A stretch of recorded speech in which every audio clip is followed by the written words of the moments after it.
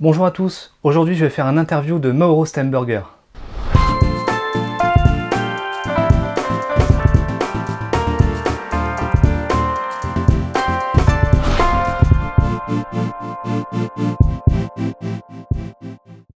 Alors aujourd'hui c'est officiel, on accueille Mauro Stemberger dans Alexis fait des bonsaïs et je suis très heureux d'avoir réussi à organiser cette interview. Alors forcément il va pas être là physiquement, on va s'appeler par téléphone. J'ai préparé une dizaine de questions, on va voir euh, comment ça se passe. Alors j'espère que cette interview va vous intéresser et je vais l'appeler tout de suite. Thank you very much Mauro to, to accept this interview. Thank you, thank you so much for the invitation. Yes, it was ve- very quick. I just send a message on your Facebook uh, page.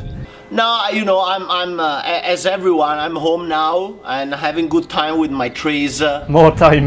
yeah, exactly. So I have, uh, I have a little bit of free time and I spend most of the day here in my workshop uh, with Yes, my good. trees doing maintenance. uh, So it's no problem to take some time. okay, good. So more time with uh, your trees. Yes, uh, yes. Was uh, almost 10 years uh, I was not able to spend a month, a full month with my trees in spring because I Ah, was yes. always traveling uh, United States, uh, Europe, uh, and then three days home and then another month away. But now I'm home, I can check everything. All my trees are in perfect condition. Okay. so other people uh, can handle uh, your trees when you are unavailable. So I have some students, uh, and most of the work uh, my wife uh, does. Uh, so she does most of the maintenance, Ah. uh, especially about the you know giving products to the tree, fungicide, pesticide, fertilizer, and. Okay, uh, cool. for the moment, I have a strange setting because I have three collection. Let's say I have a bonsai museum, one hour from my place. Yes. I have my own collection, that is this one I'm filming now. And then I have an, another place uh, where I keep my Yamadori and I start developing the trees from nature. Here at home, uh, where I'm now, I have only finished trees. Okay. Uh, maybe we can uh, uh, see that with one of the questions about your, your placement, your setup. Yeah, yeah, it's uh, sure. very interesting. Yeah. Uh, so let's start with the first question, if you are Perfect. ready. Sure, I'm born So, ready. how and when uh, do you start uh, bonsai? So I was uh, 14 years old uh, and I came across uh, some bonsai magazines uh, and in a local uh, you know flower shop uh, I see some little bonsai on my way back home from school and I Okay. start get interested. I live in a beautiful town. It's called Feltre. It's in the middle of the Dolomites. So I was always surrounded by nature, and I always love to go in nature and find animal and plants. Uh, you know, uh, seed. Uh, and plant seeds and develop trees. Uh, Okay. And when I found bonsai, I really, you know, found my way because I love uh, to see these, uh, you know, pieces of nature developing in a bonsai pot. Yes, it, it can bring several uh, several aspects of uh, what you, you Yeah. like. Yeah, exactly. And I, again, I'm very lucky because I'm really even not uh, one hour from the very high mountain, the Alps. Uh, so it's, it's perfect. It's perfect for me. Ah, for collecting, maybe. Also, even for collecting, but also when I was still not doing bonsai, my, with my family, we went uh, there for hiking uh, all the time since I was a little child. so yes. you know, uh, I, I I grew up uh, surrounded by nature. So it's something Okay. that uh, was always uh, inside me. Okay, very good uh, environment. yes, exactly, exactly. Can you describe uh, your uh, current collection? Uh, numbers, spaces, uh, st- state of cultivation? So uh, I start bonsai as an amateur, but my goal was always uh, to have a very good bonsai collection. So I was always looking for very good material, either collecting material in Europe or Japanese material, imported trees. uh, Yes. So I was always looking for those trees and improving my skill and in the meantime my collection.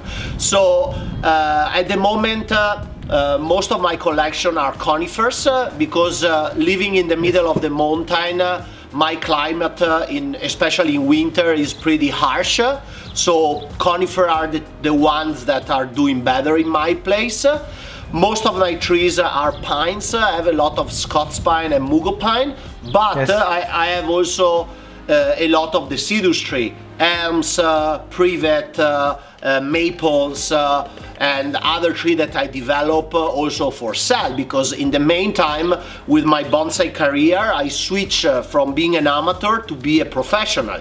So I have also to create trees uh, for my clients uh, and uh, trees for, sale.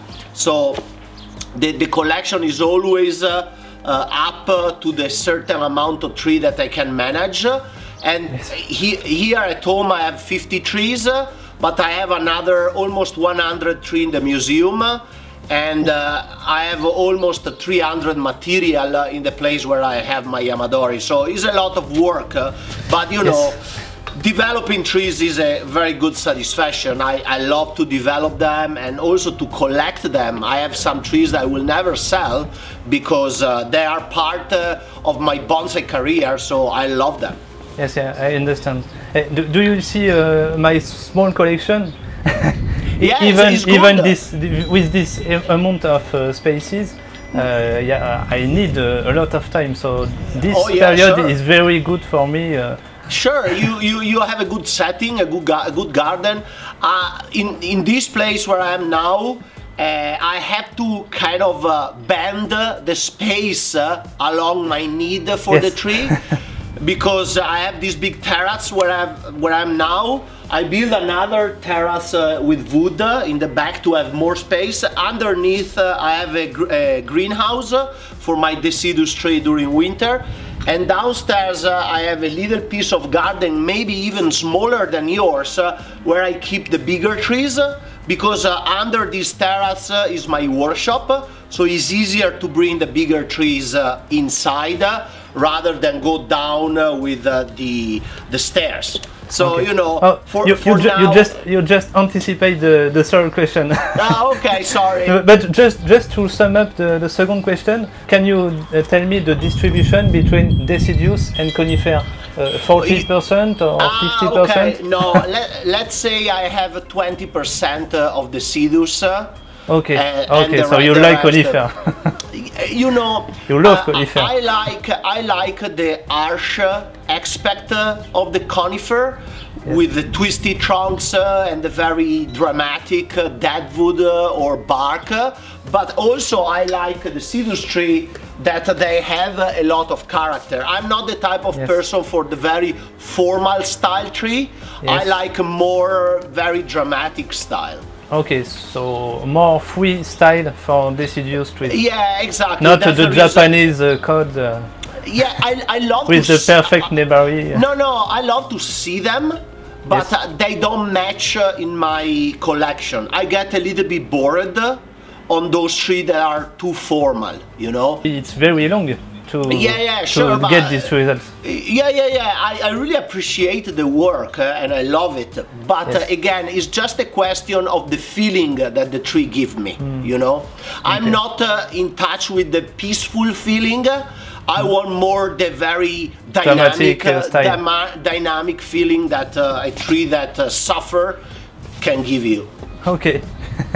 How did you organize the arrangement? Do you use uh, chairs, table, uh, a No, so I have. Uh, so here in this main place, uh, I have benches uh, in the upper part, uh, and uh, I have a single stands uh, in the garden downstairs because I have the I have the bigger trees, and also because uh, here in the terrace uh, to have benches uh, is a little bit more useful for have a little bit more trees uh, rather than have uh, Yes. just a single stands, uh, and uh, also. I, I have uh, most of all my deciduous tree in this side uh, because it's the side uh, with less sunlight and in the outside part uh, I have all the juniper and the pine and also downstairs I have most of the pines because they require more sunlight. Okay, so about the, the sun exposition, how do you manage? Exactly. So uh, my trees see the sun from six in the morning, as I said, to like three o'clock, no more than three o'clock. For example, I can't grow here in this location Sabina juniper because Sabina, for example, is very high dependent from the sun. So I need to grow them uh, in the museum where I have uh, full sun all day, from morning to afternoon. But uh, for example, Itoigawa, Juniper, Scots Pine, Mugo Pines, uh, the sun is good uh, here where I, I have my own my main collection. Ah, okay. Even the Scots pine. Yeah, yeah, yeah. Even the Scots Pine, no Oh, problem. Okay, I, I have no a, problem. a Pinus sylvestris, and Uh-huh. uh, I I, I uh, set up uh, in full sun Yeah, yeah, yeah. all, yeah. all day. The pines uh, will love to have sun all day long, but Yes. unfortunately in this location I have not. So Okay, even okay. even if the sun is only to three o'clock uh, in the afternoon, uh, with some product uh, and some help, uh, let's say, the tree are still very nice and strong. So at uh, this time, it's uh, in a shade environment. Yes. Now Yes. there is a, now there is a shade all over the garden because it's four o'clock in the afternoon. Okay, perfect. Is there species that you particularly like, that you inspires more like uh, other? Uh, I'm a big fan uh, of conifers, uh, as I said. uh, Yes. And uh, my favorite one uh, for sure is the Scots pine. In my opinion, uh, is the best uh, pine uh, for bonsai, even better than Japanese uh, white uh, or black pine.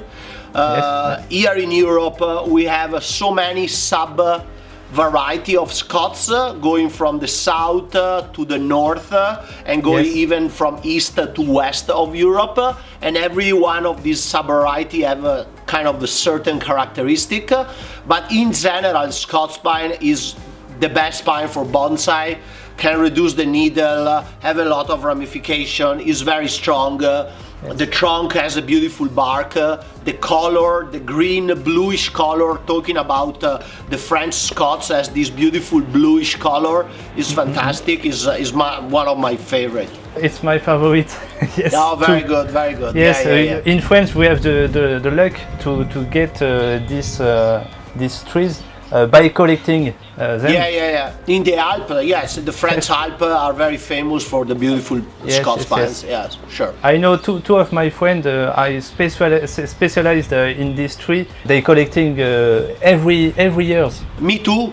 Me too. I come in France Okay, too to so- collect. we can see you in Alp uh, Exactly. every year. No, it's difficult to see me. I, I have camouflage, so it's, it's impossible to see me. Okay. Can you tell us uh, more about uh, this uh, this Godzilla uh, sylvestris pine? Okay. I, I see uh, I see in a reel uh, in the trophy Uh-huh. 2019. Yes, exactly. So uh, I was I, have a good connection uh, with all the bonsai world, uh, let's say. So either other professional collectors and everything. And one day I got a call from a friend uh, in Torino that actually is in the border between uh, Italy and France. Yes. and, and he said I went out collecting. Uh, and uh, I collected this beautiful uh, Scots pine with a lot of deadwood. I'm sure you will like it. So I said, Okay. Send me a picture of the material. So he said, okay, tomorrow when I pot the tree, because he just went down the mountain the day he called me. Yes. Tomorrow that uh, uh, I will plant the tree, I send you a picture. So I said, okay. Uh, I got the picture and I was amazed because uh, I No never. hesitation. yeah, I never saw a apart a big tree like that, but with such a big amount of deadwood. Normally, it's very rare to find Scots pine with deadwood because uh, pines with deadwood, most of all, is mugo pine because they grow in a higher elevation.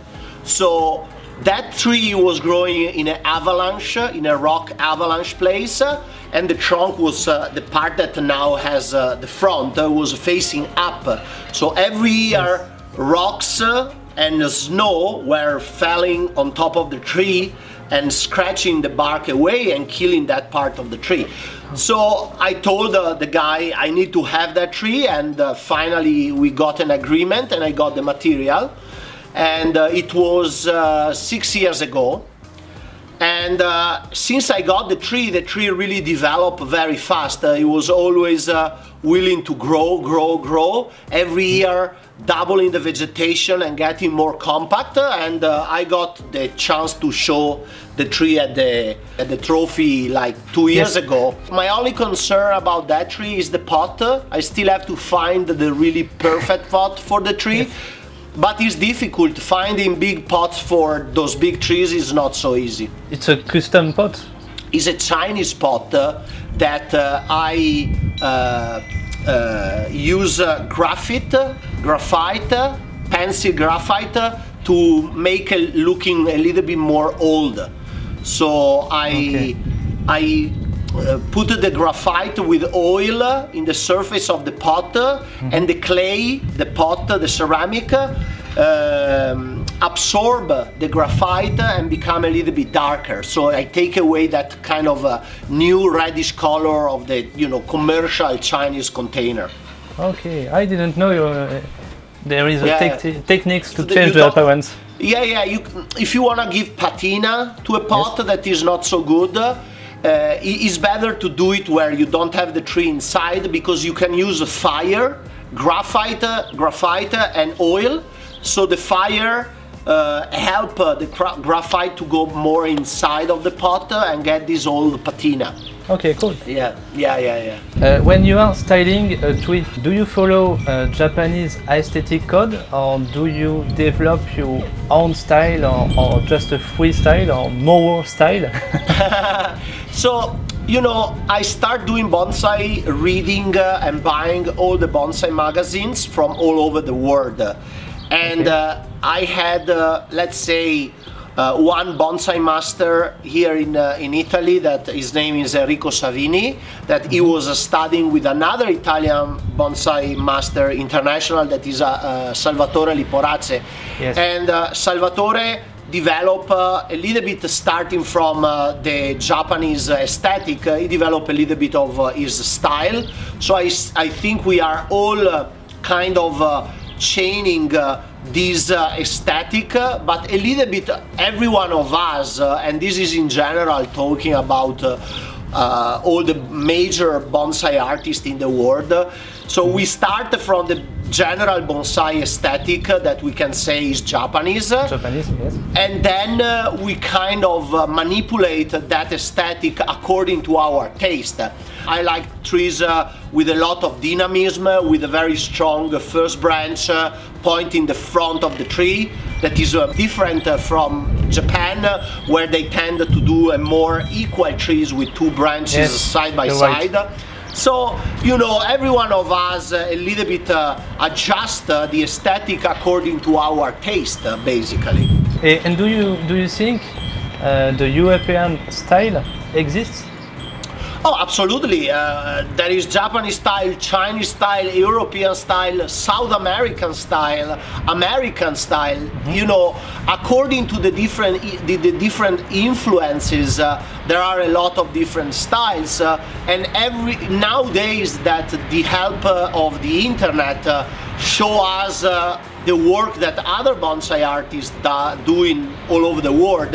You know, the exchange of information and the exchange of technique is so high that uh, you know I uh, sometimes design a tree and uh, it's not European style, but there are parts uh, of every style inside. Uh, for example, I just finished a rock composition with a juniper a few days ago. I saw saw it uh, in your Facebook page. You saw on Facebook, you know. Yes, very good job.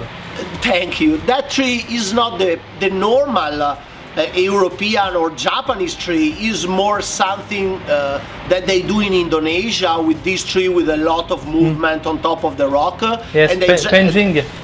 Exactly, and they generally use uh, some uh, uh, tropical tree, but I did it with a juniper. So you know, uh, we have the. Ch- it's like uh, with painting. Uh, you know, painting uh, painters uh, in the 18th centuries they started traveling all over and started changing ideas uh, one with the other. So you know, either Picasso, Monet, Manet during their career they changed the style so many times because according to the period they were living uh, they had different taste uh, and, diff- and and also different goals uh, to kind of ac- achieve so Okay, so, so you, you mix different culture, so Yes. you can uh, you can uh, create a very inspired uh, uh, style.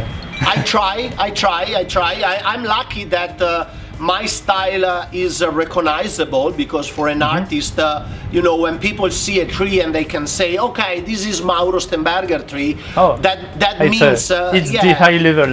no, they, they, they can say, they can, even if they don't like it or, or they don't like it because uh, they like, because it's, it's just uh, personal sometimes. But uh, I, I'm glad that people can recognize uh, my, that is my tree, you know? Okay, yes. Do, do you know uh, uh, Sandro Segneri? See, sure, absolutely. He's one of the best, uh, the best uh, bonsai instructor yes. and artist we have here in Italy. Yes, in my opinion, I, I very like his style uh, because he, he doesn't uh, do a very standard uh, shape. yeah, exactly. It's good to see on his style that uh, he like most of the time or sometimes to break uh, some of the general bonsai rules. Yes. But doing that, uh, it doesn't make something that look uh, ugly or strange. It mm-hmm. makes something that look nice, and this is the good thing about him, uh, in my opinion. Because yes. even uh, if you use a branch and you cross in front uh, of the tree, at the end uh, of the you know overall image of the tree, that branch look good.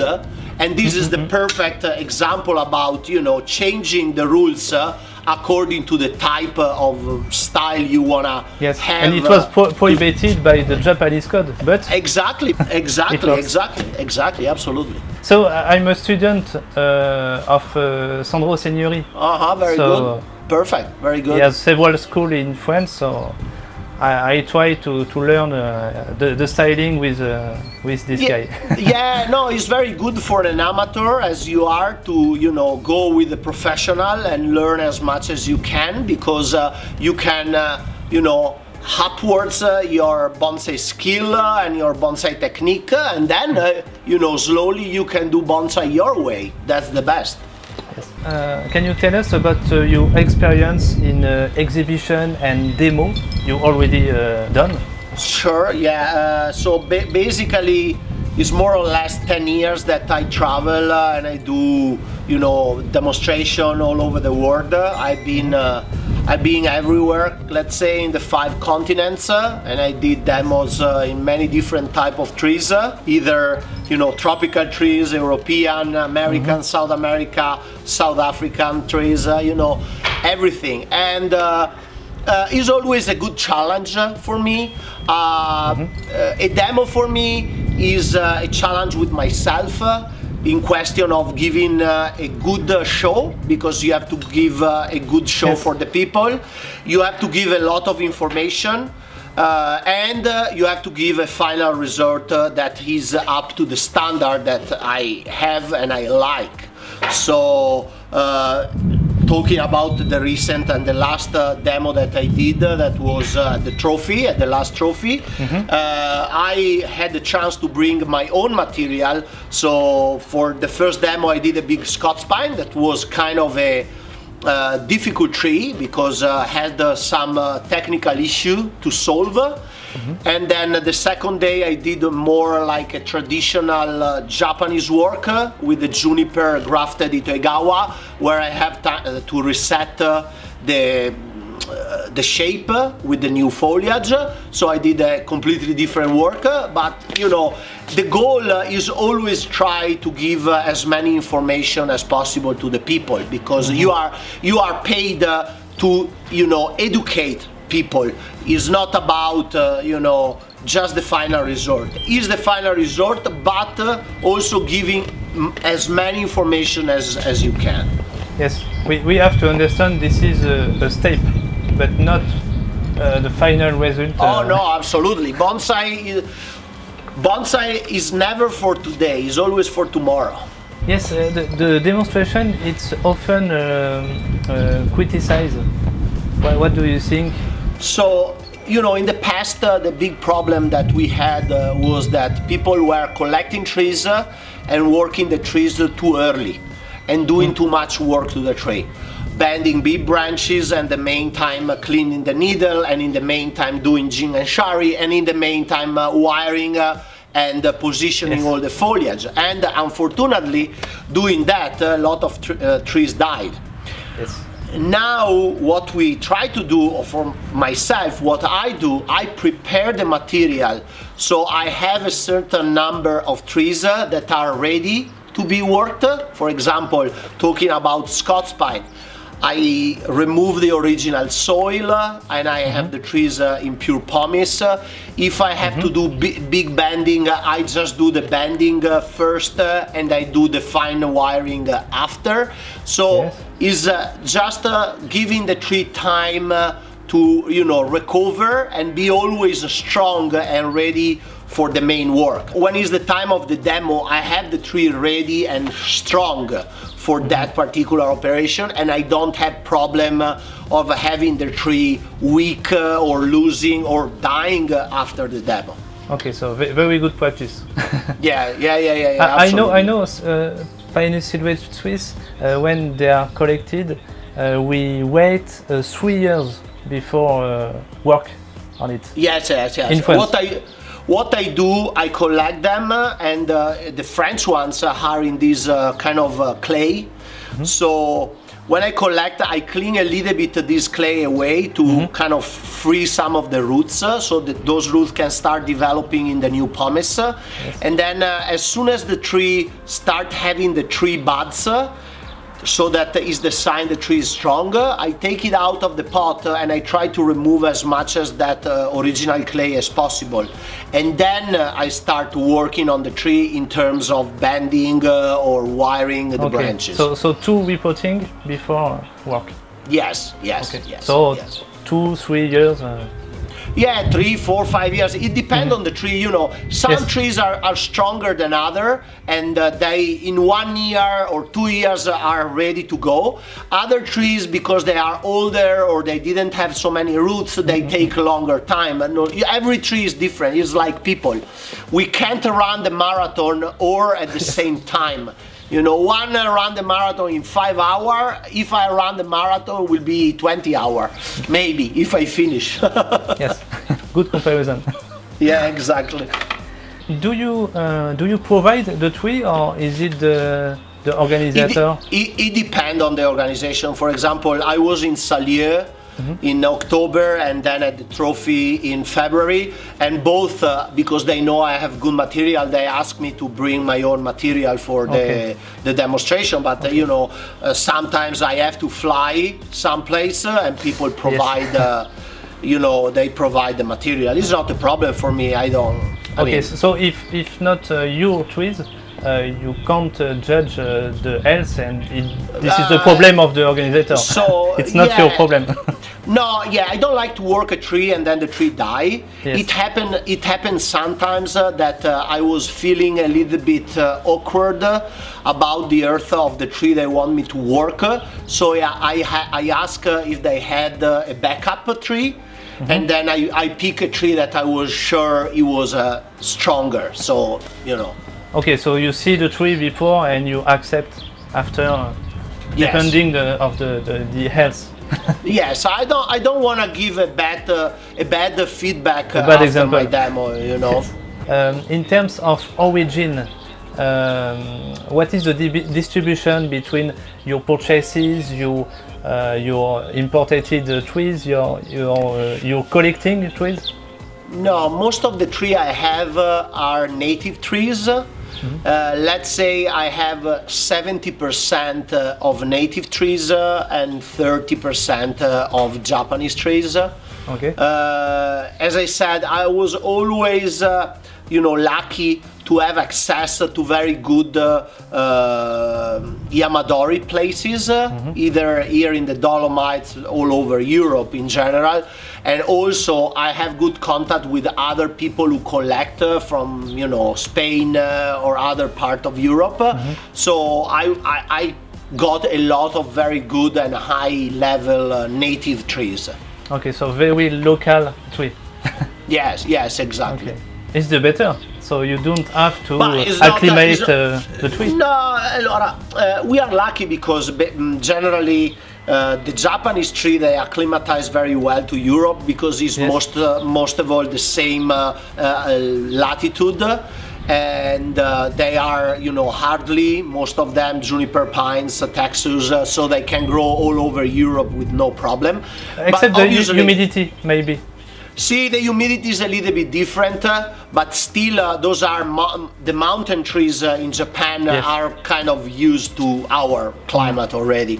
Uh, but again, uh, I, I find out that uh, if we can develop uh, a very high standard bonsai with uh, local or native material, is kind of uh, cheaper to just uh, import uh, a Finnish uh, Japanese yes, yes. bonsai.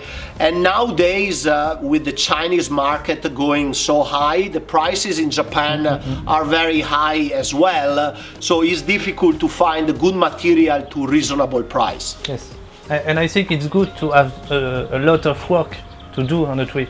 If Oh, you yeah, if you buy a, a very good piece, it's not uh, your personal work, and uh, I think it's less interesting. No, uh, to, to, to develop uh, a bonsai is a beautiful experience uh, and is a beautiful journey. So you can learn a lot from the tree and uh, you know develop a lot uh, your bonsai skill, uh, working uh, you know try to you know develop a material and you know make it into a beautiful bonsai. So very good transition. have you ever worked uh, a tree from a cut or a seed? So uh, I, when I start bonsai, I did a lot of uh, you know grafting uh, and planting Yes. seeds uh, and air layering. Uh, So uh, I still uh, develop little juniper from cuttings. To use uh, for for grafting uh, on Sabina juniper or other junipers, for example, uh, I don't develop them for a future in bonsai. I just develop them to use in a bonsai. So now is kind of different. Okay. But you know, starting bonsai as a hobby, I experiment uh, almost everything in bonsai. So you didn't have a, a cutting uh, tree uh, uh, that follow you uh, 20 years? no, no, no. I think uh, uh, one of my uh, older tree is uh, maybe 20 years with me.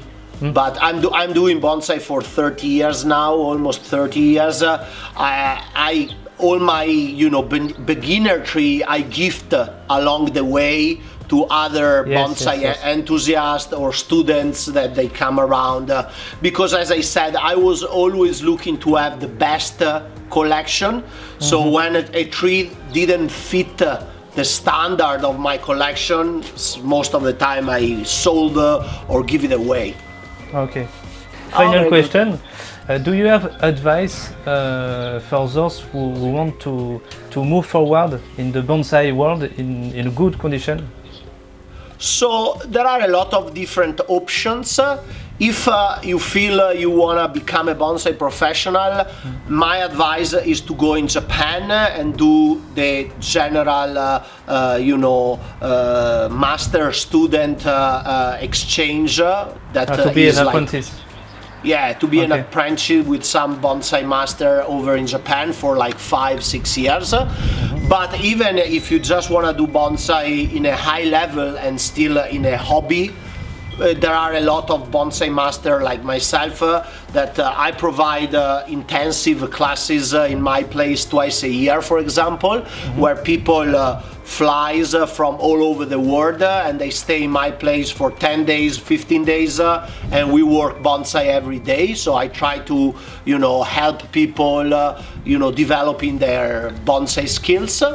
And uh, there are a lot of schools. You are an example following uh, the you know uh, bonsai creativo school uh, in france Yes. i have uh, i have as well some bonsai school in Germany, in Brazil, in United States. So people come in those uh, cities uh, and they do the school with me twice a year, most of the time. Okay. And uh, you know, or try to participate as much as you can to you know workshop uh, that uh, local clubs uh, organize Yes, yes, uh, yes. with with different uh, bonsai masters. You know, it's always good to see many different way of doing bonsai and get as many information as possible. And again, nowadays we are lucky with internet. There are a lot of very good. Uh, YouTube channel as well that give us a lot of information. I have uh, YouTube channel if you follow me, Mauro Stemberger, but there are many others uh, like Ryan Neil uh, with Bonsai Mirai Mm-hmm. or Bjorn uh, with uh, Bonsai U. So I already are- uh, to.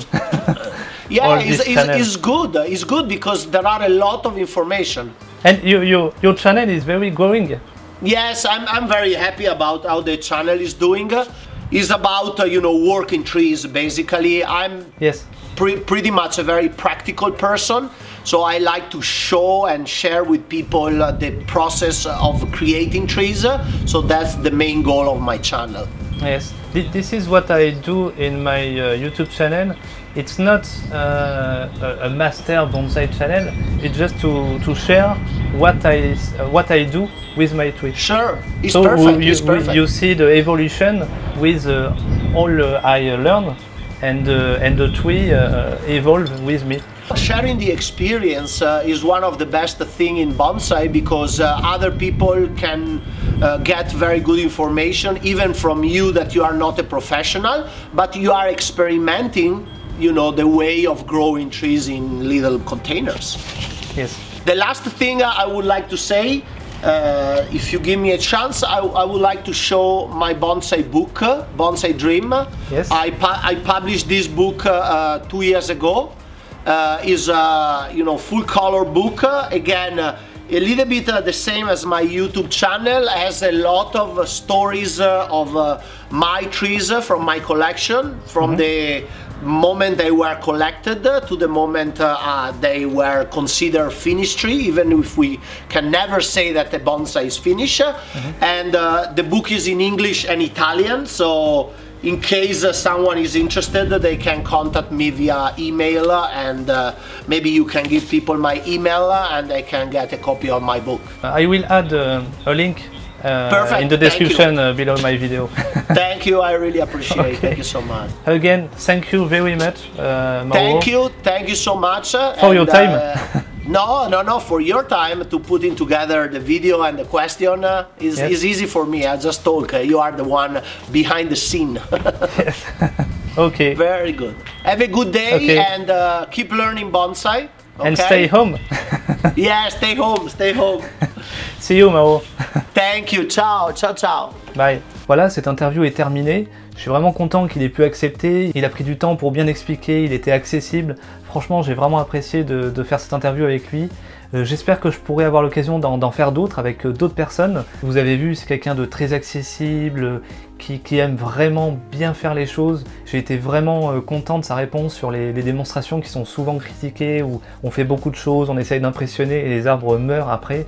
Lui, vraiment, il prend le temps de, bien regarder la santé de l'arbre. Quand il amène ses arbres, il les prépare vraiment pour les démos. Il veut que ce soit en pleine forme. Ça, j'ai vraiment apprécié. Donc, c'est c'est quelqu'un de bien. j'ai aussi appris quelque chose sur sa méthode de- pour essayer de patiner les peaux. J'ai trouvé ça super intéressant. Vous me direz dans les commentaires ce que vous en pensez. Mauro, je le suis sur, euh, sur YouTube, sur sa page Facebook. Je l'ai vu aussi en démonstration. C'est toujours super intéressant de pouvoir poser des questions personnelles et surtout de pouvoir les partager avec vous pour que tout le monde puisse en bénéficier. En tout cas, vous pouvez retrouver dans la description de la vidéo euh, ces liens, donc sa page Facebook, son YouTube et puis le lien pour le livre. Et quant à nous, on se retrouve bientôt pour un prochain sujet et faites du bonsaï.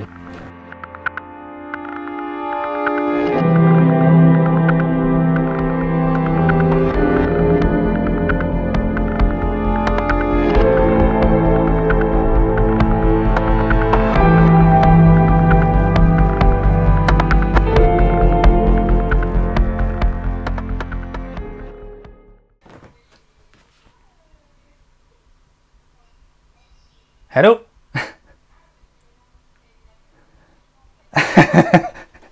Très bien. On, on fait en français alors?